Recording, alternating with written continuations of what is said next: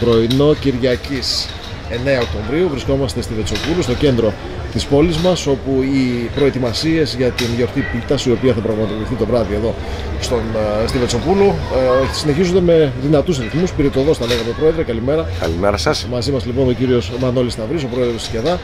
Πρόεδρε όλα έτοιμα; Ετοιμαζόμαστε, δεν είναι όλα έτοιμα. Σε λίγη ώρα όμως θα έχουν ολοκληρωθεί όλες οι εργασίες. Ε, το προσωπικό της ΚΕΔΑ και του Δήμου είναι από το πρωί εδώ και ε, οφείλω να τους ευχαριστήσω πολύ. 17η γιορτή πίτας, μετά από δύο χρόνια διακοπής λόγω της πανδημίας. Ε, κάνουμε πάλι την, ε, από τις πιο δυνατές ε, γιορτές, θα το θέσω έτσι, Εκδηλώσεις, της πόλης, ναι. εκδηλώσεις, ναι. Ε, με αρκετούς συλλόγους, 26 στο, σύλλογο- στο σύνολο. Ε, κάποιοι δεν μπόρεσαν να έρθουν λόγω ότι είναι σε αδράνεια, λόγω της πανδημίας δεν μπορέσαν να Λογικό, κάνουν ναι. το ΔΣ ακόμα να, να βρεθούν.